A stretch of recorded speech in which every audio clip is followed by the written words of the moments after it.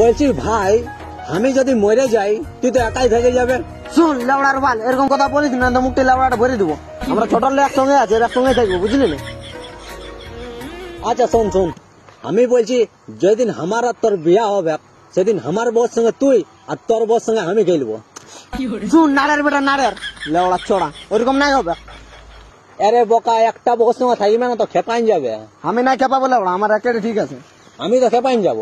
তুই খেপাবে না রেন্ডা চোদা পটিছে আমরা বেস্ট ফ্রেন্ড বডি হ্যাঁ আমার এইটা পটি শুধু আলার বাল গল্প বললাম আমি চললি যা তো ভাই